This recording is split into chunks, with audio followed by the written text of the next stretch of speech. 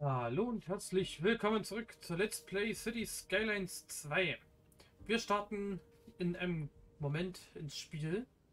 Ich möchte nämlich nochmal darauf hinweisen, dass selbst die einzelnen Schneeflocken, die hier im Spiel herumschwirren, sieht man gerade keine gut.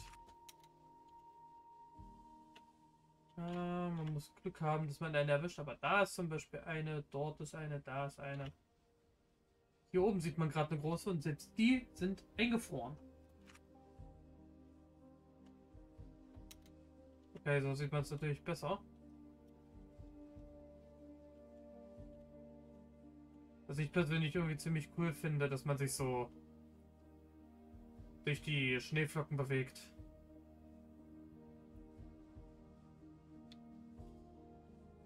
Ist schon cool. Und wie ihr sehen könnt, habe ich an der Grafik nochmal was geändert, wodurch es jetzt wesentlich flüssiger läuft.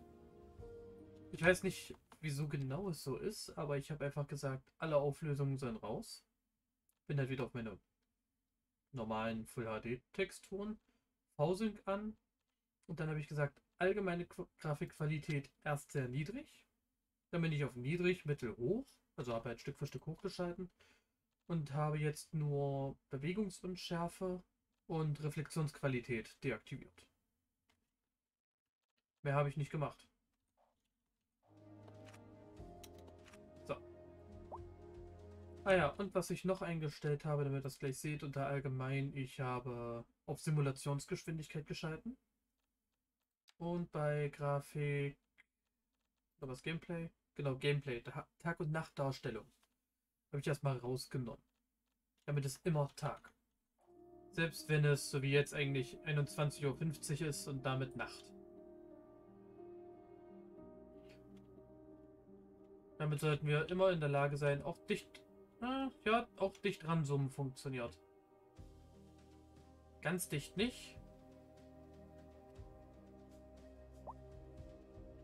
Wie dicht kann man bitte ranzoomen? Okay, dichter als das geht nicht. Und damit hat er dann Probleme.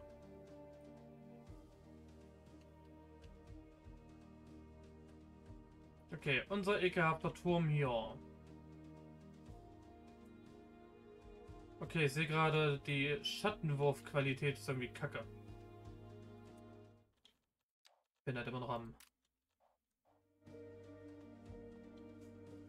Ähm...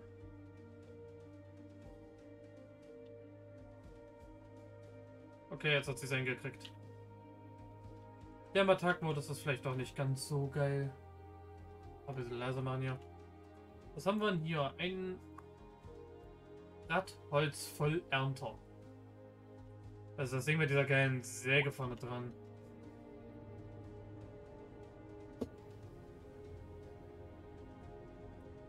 Sieht man den nochmal bei der Arbeit jetzt?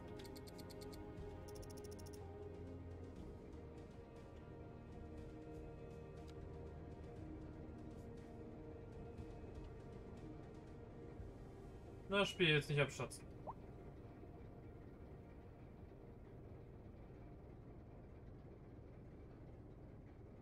Ah, ich glaube, der fährt einfach nur zurück.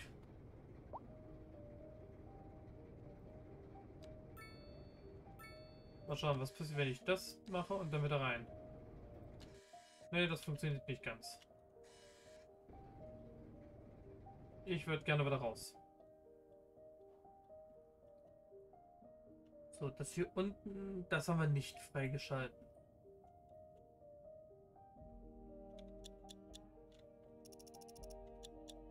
Sogar der Schnee fällt schneller, glaube ich. So, ihr habt zu wenig Kunden permanent. Genau. Das ist nicht gut. Ja, Strom wird Überfluss verkauft. Das ist wichtig.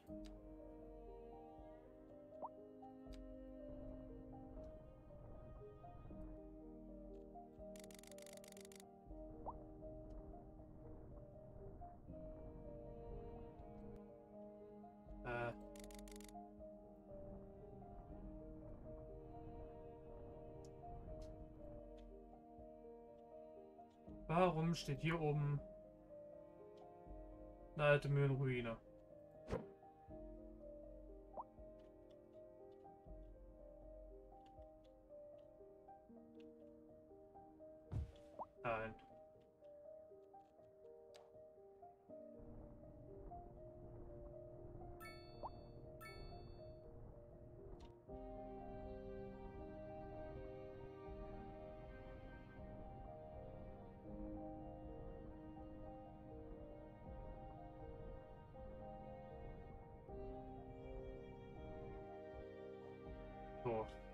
Haben wir hier wieder ein kleines Gebiet.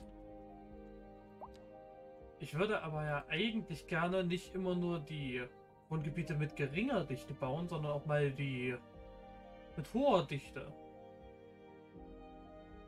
Mit kleinen lesbaren Wohnungen. Was brauchen wir denn? Wir brauchen geringe Dichte. Die wollen alle nicht hier in sowas wohnen.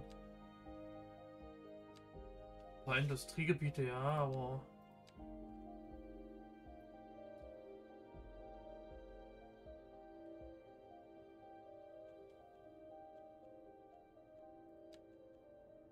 Ah.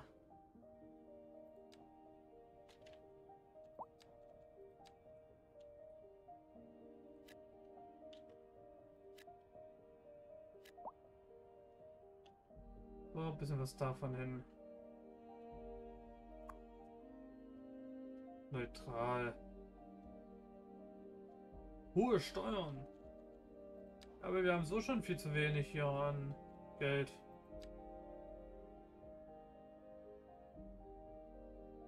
Wenn ich die Steuern senke, wird es viel zu teuer.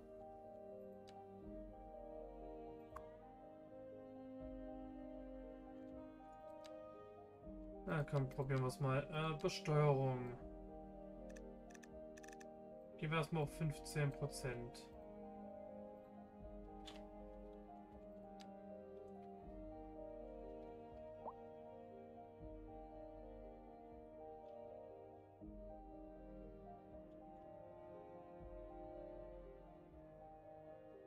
Wird das hier unten? Naja.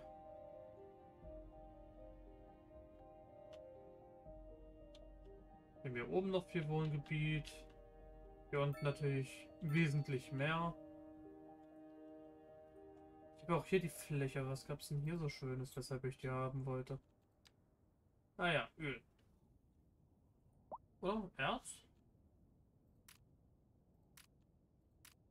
Ja. You're listening to. Second Moon, the epitome of classical listening at home or wherever you roam. Interesting news from the city's export division. Sources tell us that our city has more services than we know what to do with. And you know what that means, folks. It means we're not cutting things close enough. Well, no, the point is we're selling it and bringing money into local That's right. You could almost say it's too much of a good thing. Or we could say that we're enjoying a positive trade balance and the economy is booming. More after this. Das hier kommt jetzt erstmal alles weg.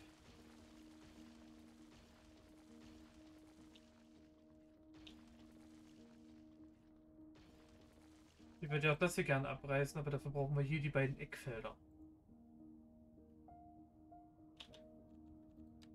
Da werde ich natürlich viel Waldgebiet bekommen. Hier hinten sogar äh, genau, Erz nochmal. Was ganz geil wäre.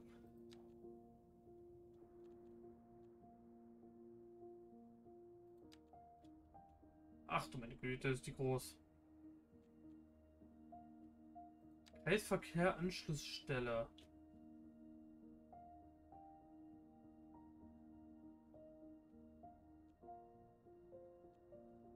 Ein Kreisverkehr auf drei Ebenen mit mittlerer Verkehrskapazität. Mäßig. Viel Bauland. Handelanschlussstelle mit geringer Kapazität und Anbindung an eine Regionalstraße. Achso, damit kann ich einfach, sag ich mal, zwei Gebiete miteinander verbinden. Oder halt eine Hauptstraße nach links und rechts aufteilen.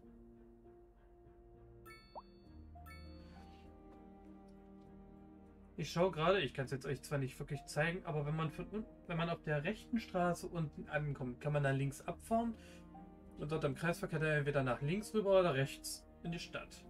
Also mit dem hier würde man sehr gut da hinkommen, aber ich hätte halt eigentlich gerne so eine Kleeblattkreuzung.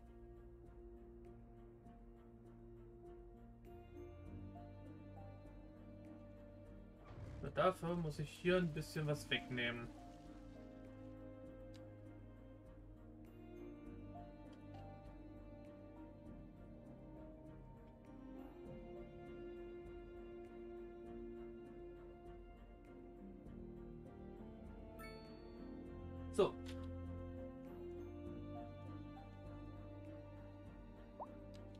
Ich bloß noch Schnellstraße.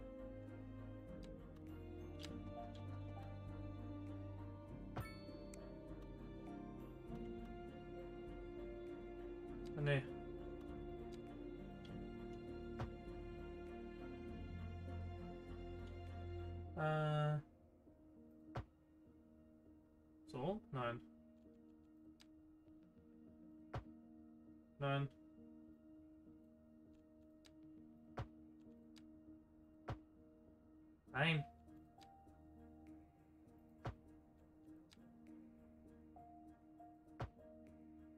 Nein. Äh,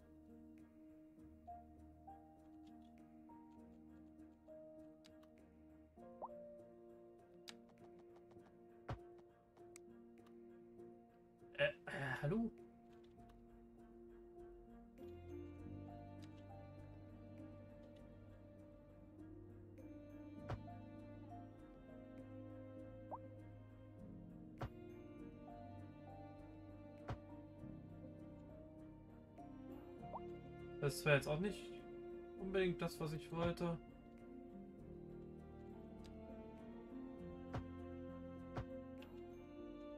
Aber dann muss ich es halt so machen. Nein. Oh.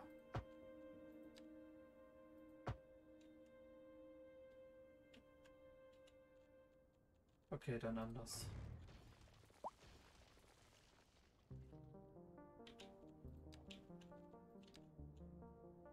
Zweispurige Schnellstraße. Daran.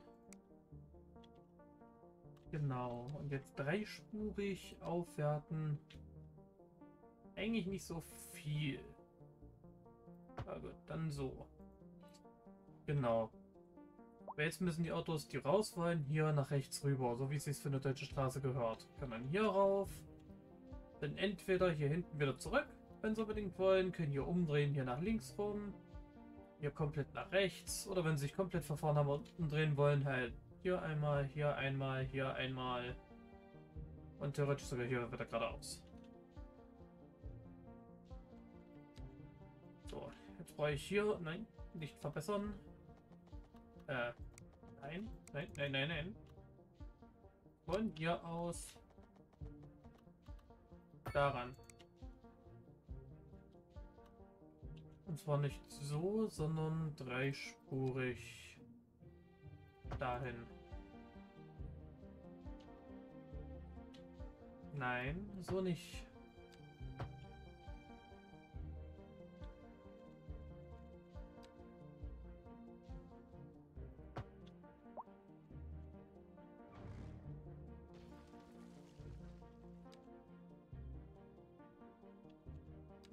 Und hier soll das Ganze dann zweispurig werden. Perfekt. Haben die nämlich, die von hier außen kommen, noch eine Einfädelungsspur.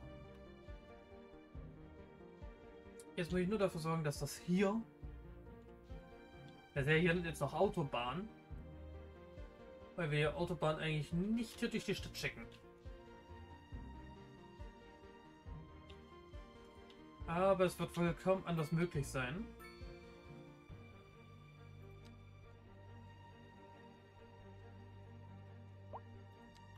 Als jetzt zweispurig.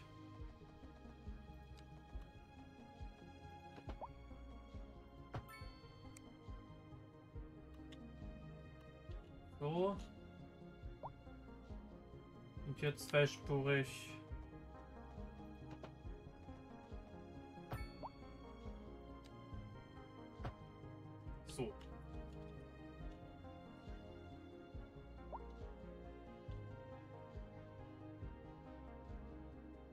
Könnte auch hier einen großen Kreisverkehr hinklatschen. Wie würde denn das funktionieren? Ja, ich weiß, ihr findet das gerade alle ziemlich scheiße. Aber wenn ich jetzt hier sage, ich möchte gerne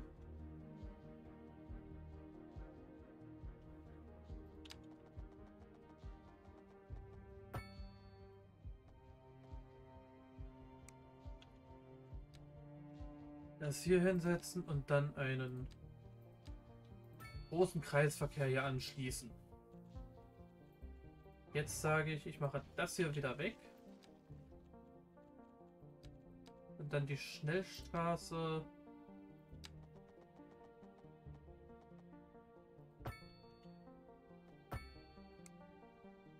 Zweispurig hier rein. Funktioniert natürlich nicht, weil ich hierfür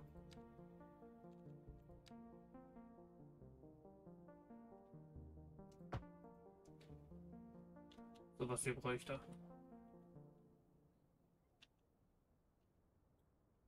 Ich würde das zwar physisch lieber voneinander trennen.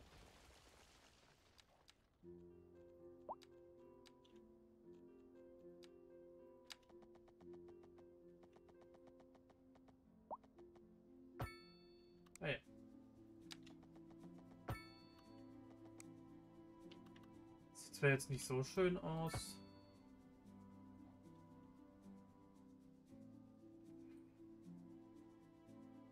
Ah ja. Der, das Zeichen sagt einfach nur hier, du musst einmal so rumfahren.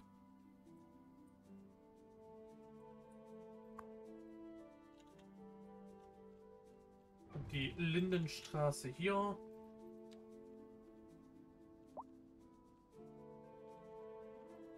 Ab sofort.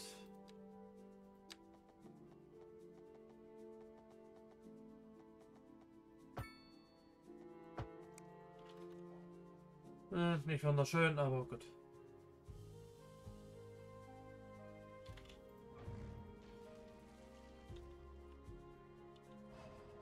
So. Damit haben wir unsere Stadt hier hinten schon mal über ein Autobahnkreuz angeschlossen. Jetzt fehlt nur noch die Schnellstraße hier hinten.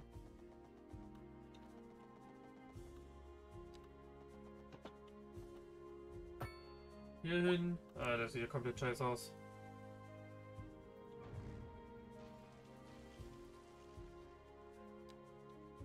Vielleicht lieber...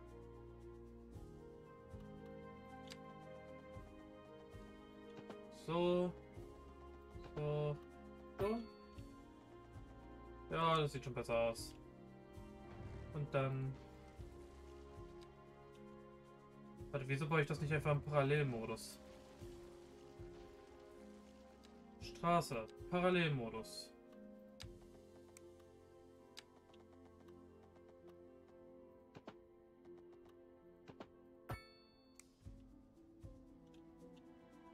Sieht schon besser aus. Außer, dass ich gerne dreispurig hier bauen würde, damit die hier eine längere Einfehlungsspur haben. Und ich auch bitte dreispurig, damit ihr hier eine Ausfehlungsspur habt. Perfekt.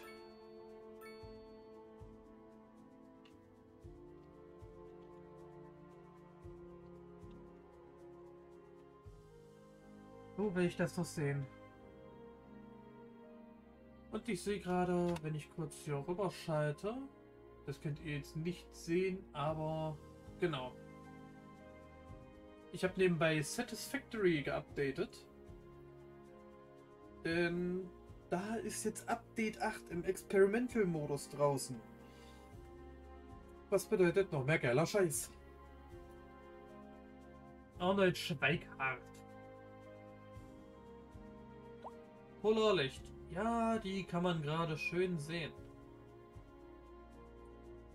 Und da ist ein Flugzeug.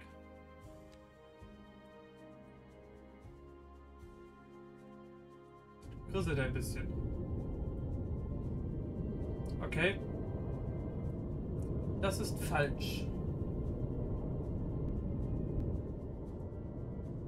Flugzeuge haben im normalen Flugbetrieb nicht das Fahrwerk ausgeklappt.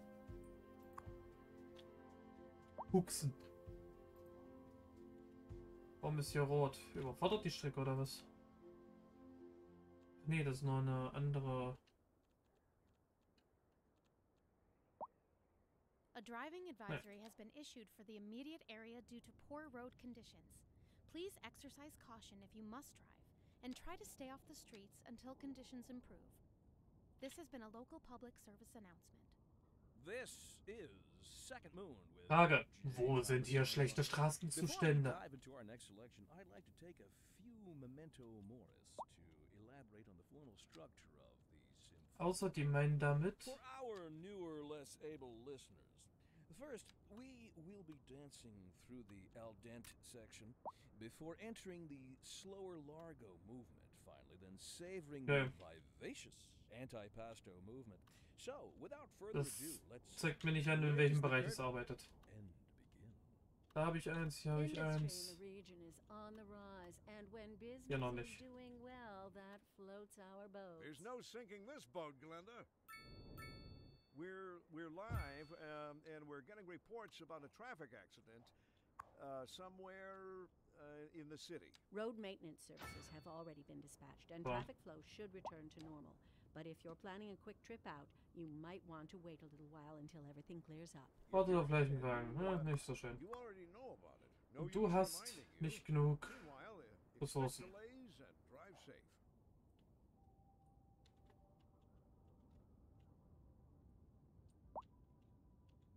Naja, wir wollten ja hier unsere Industriezone ein wenig errichten.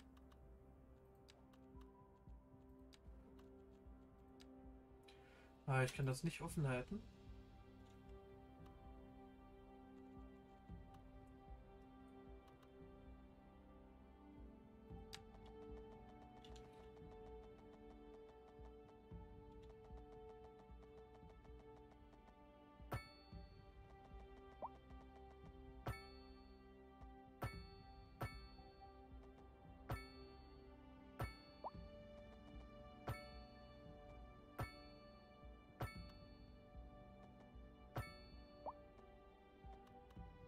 Mache ich das Ganze einfach mal so.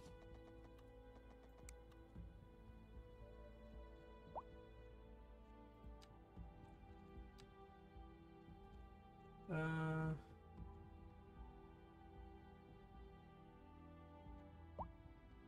Öl kann ich noch nicht, aber hier hatten wir ja Erz.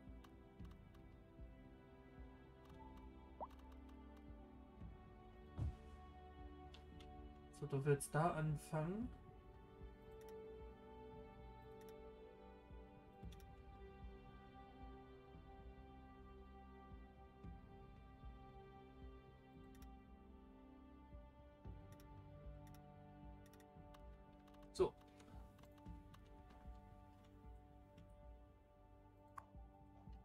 Och, nö.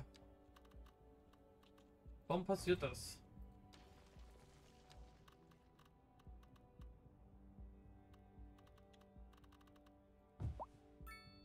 Jetzt dürfte es aber gebaut sein.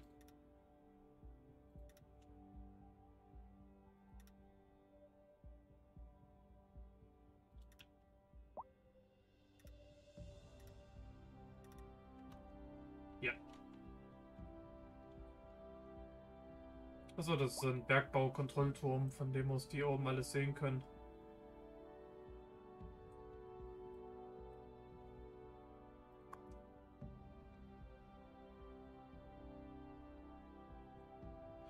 Und direkt nebenan können wir dann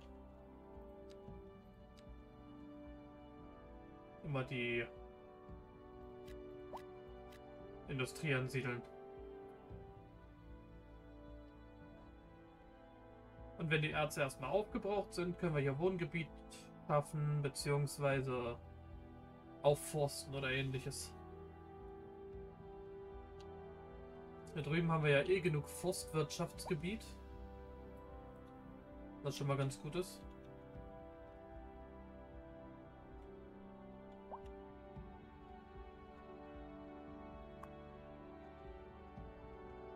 Schneepflug. Der macht hier die Straßen sauber. Ist ja cool.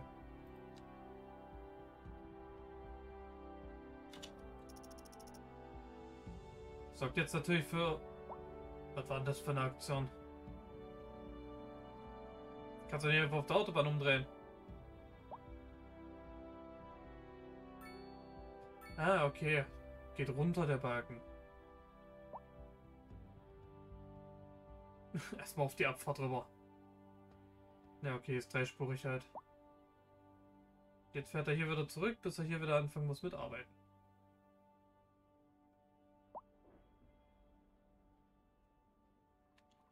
Ich glaube, hier wäre vielleicht auch ein Kreisverkehr nicht übel.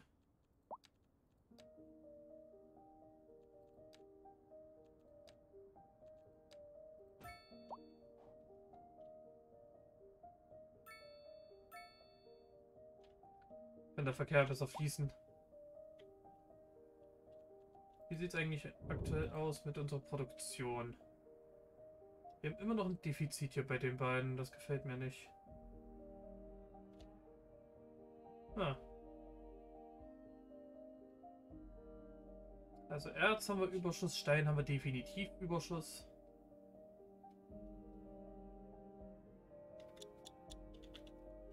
Das ist gut. Die Leute verlangen definitiv nach Industriegebiet.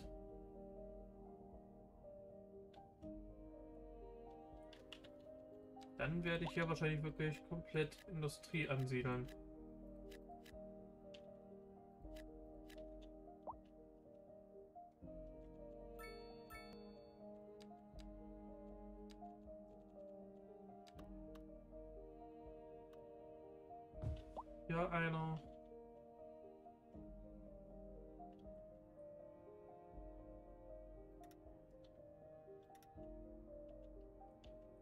Ungefähr bis zur Hälfte, sage ich mal, dahin.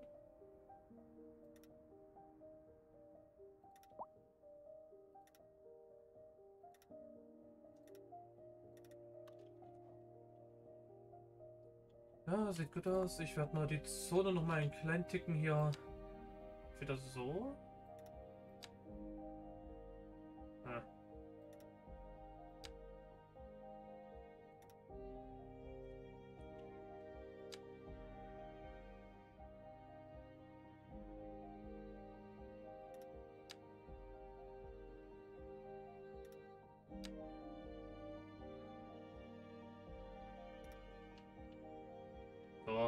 Sieht die Ecke hier mehr ausgefüllt aus.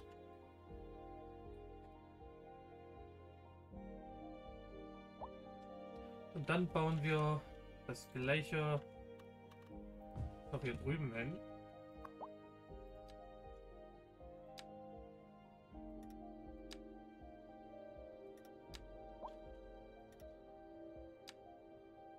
So.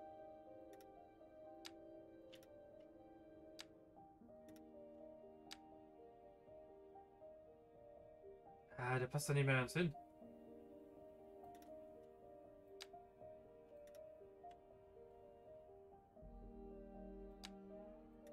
Dann passe ich das Ganze so an.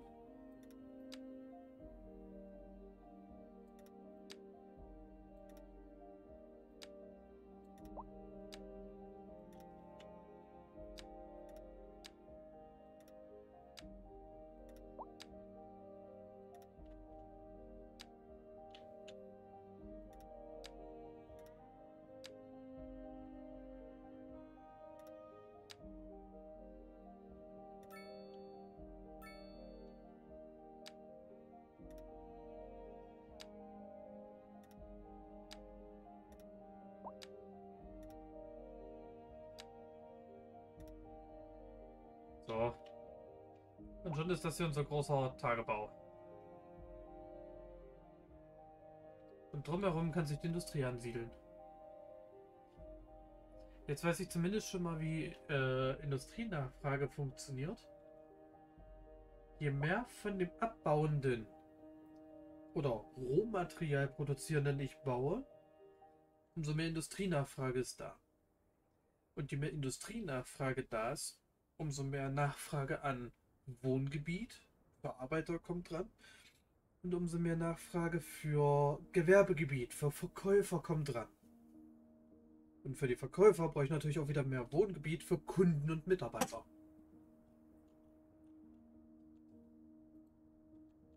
Nur leider wollen die immer alle nur in geringer Dichte wohnen.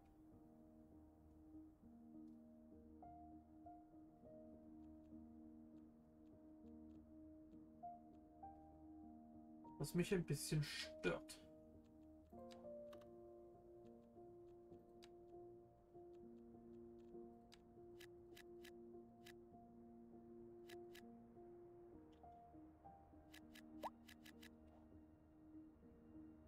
Naja.